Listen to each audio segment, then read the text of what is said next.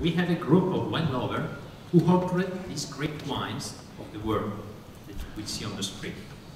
Could you please recommend the menu for us to enjoy the wines and the brief presentation of the wines?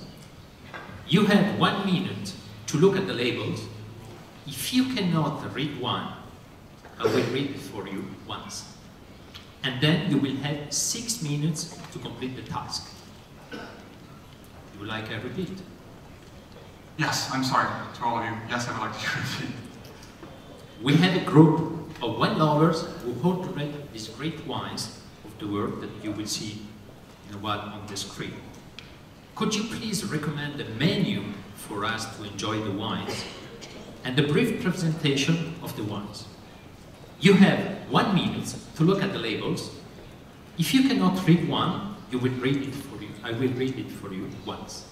And then you will have six minutes to complete the task. Great because it wasn't very clear on the microphone. Not your fault, Paolo. I think it was just. It, it's it's clear. You're yes. clear about it, so you, you're happy to start. Yes. One minute. I, I cannot see the vintage clearly of the Clos Saint Denis from Ponsot. Yeah, this is Clos Saint Denis from Ponsot 45, 1945.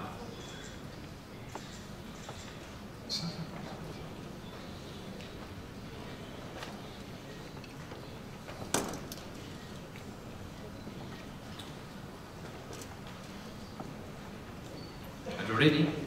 Yes. Ready? Okay. Six minutes. Great. So happy to uh, to have you you here, and you brought some amazing wines. Uh, the 1945 uh, Ponsot is a special rarity, uh, which I've, I've not seen an actual bottle before. Um, very interesting. Uh, so for this task, I think we will select the menu. Please let me know if there's anything that uh, that's going too fast, or if you need me to repeat anything if you have any ob objections or questions. Is there anything I should know in terms of dietary restrictions? Uh, anyone uh, that has anything in particular that I should know about? Great. Well, then let's let's begin. May I offer you a little glass of uh, something to start with before we get into this? You have such a wonderful menu. We might as well start with a little, uh, little aperitif, right?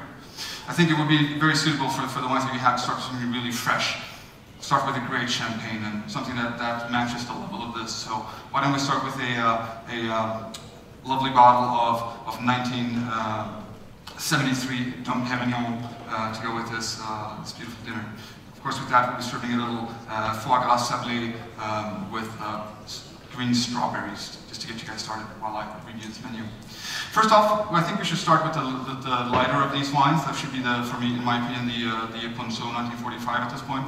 Um, well, let's see how this bottle is, is, uh, is performing. Uh, but we'll, we'll, we'll, I would like to serve something really elegant and fresh to go with this. We'd like to start with uh, sweetbread of veal, served with uh, some black morels and, uh, and then amontillado-based sauce to go with this with a little bit of red currant.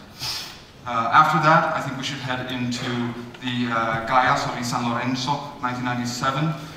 really beautiful wine, uh, that requires, I mean, this is still a youthful, a young wine, still has plenty of tannin.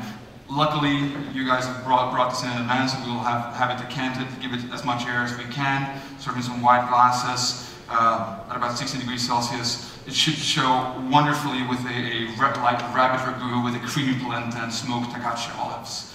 So something that can tackle those still the tannin and the acidity of this wine. This is very, very structured wine and want to let the perfume really, really show itself. Um, after that, I think it would be prudent to head into the, uh, the Penfolds Grange 1990, uh, another great wine from, from Australia, um, which is, of course, the, the, iconic wine of Australia, usually based on Shiraz, a little bit of Cabernet Sauvignon in this vintage. Uh, you, majority of it from the Barossa Valley, but um, you sometimes blend in other vineyards as well, so the is just southeastern Australia. Um, with this, we'll have to take something that can tackle a little bit more fruit intensity, a little bit more richness in the wine. So I'd like to serve this with a, um, a uh, onglet of grass-fed beef, served with a smoked, um, smoked uh, bone marrow sauce bordelaise, for instance. After that, we head into the Harlan, uh, Harlan 2000, oh, sorry, Harlan 1997.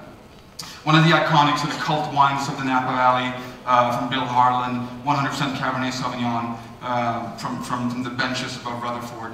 Uh, really, really a majestic, intense, very, very fruit-forward uh, and powerful wine but based on Cabernet Sauvignon. So we'll again need something that can have that has a lot of flavor, a lot of intensity, and can tackle those dense tannin in that structure. I like to take like a speciality from, from my home country and serve um, an herb rub saddle of elk, with braised salsified and a red wine based sauce. After that, we head into the sort of the, the sweeter wines uh, on the table. Uh, we have a beautiful wine here, one of my favorite wines in the whole world from Egon the Scharzhofberg Auslese 2009. Uh, one of the true sort of aristocratic domains of the, of the Mosel Valley in Saar in this, in this, uh, um, in this instance. Um, Egon Müller makes these wonderful wines from 100% Riesling. Uh, and this Auslese is, of course, a, late harvest where they select individual uh, bunches uh, of, of, of, slightly rotten wines in a vintage like nice. The ripest and the, uh, the most intense grapes go into some of these wines. This has beautiful high acidity, uh, prevalent sweetness, but this is an acid-driven wine, so I'd like to pair this with a lighter dessert first. I'd like to pair this with a, a sort of passion fruit souffle to go with those sort of ripe flavors, especially in a vintage like 2009, those intense, um, intense, luscious, fruity tones with a uh, uh, coconut and lime sorbet matched so it gives some of that creaminess to this, to this dish. After that, we have the uh, Klein Constantia Vin de Constance 2000, a really, really, really, really iconic wine again from South Africa, resurrected in 1990, uh, 1986 by this, uh, by this estate. Uh, beautiful wine based on, on, uh, on muscat grapes uh, grown in the very, very south of, of the Cape, south of Cape Town in Constantia, it's close to Table Mountain. This is a, an intensely sweet wine, caramelized in flavor. I like to serve something that can tackle that. So I like to, to serve with something that has a lot of sweetness, some caramel, intense flavor. So a little warm chocolate budino with a, a, uh, a malted ice cream uh, and a little bit of orange jelly to go with that orangey flavor that's in the wine. I didn't mention as much about the uh, Domaine Ponsot uh, wine. Domaine Ponsot, I'm not even sure had this vintage in 1945. I don't think this wine uh, was made. I'm not sure where this bottle was procured, but we will get into that. I think that vintage was purchased later than 1945. So this might be one of those special American bottles that came out a couple of years ago. Uh, after that, the, uh, of course, Gaja, I forgot to mention as well, based in, in Barbaresco. This is now uh, a Lange. Time!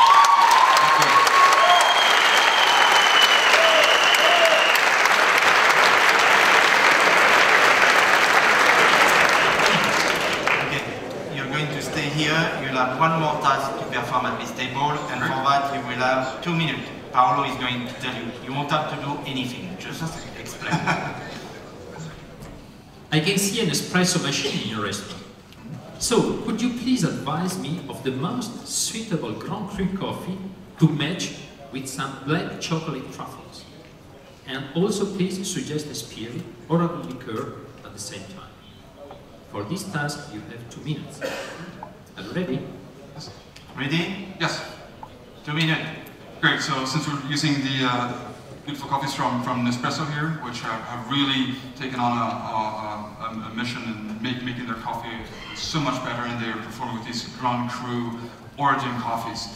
I believe with the chocolate dessert you're having the uh, uh, Grand Cru origin of Brazil from Minas Gerais will be this most suitable match. It has a sweetness and a pretty luscious flavor about it that I think is really, um, really, really suitable for chocolate desserts, those intense flavors.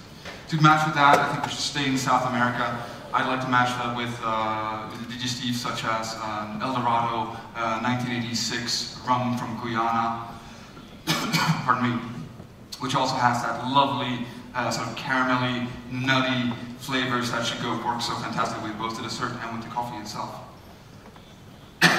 Pardon me. How does that sound? Good. Would you care for a liqueur as well, or you're happy with, uh, with, with uh, the rum there? Great. If you want to have a, a liqueur, I think one of the greatest things we could have, and this is a recent discovery of mine, people have always talked about old chartreuse, but I recently came across some, some really old Benedictine liqueur uh, from France, and that came us across the 1950s bottlings of Benedictine. Um, herbal cure, I think that will work majestically well with this as well. So it has much more denseness and much more co uh, concentration of flavor with age, a lot of caramelized flavors uh, out of aging, as, of course, as well. Thank you.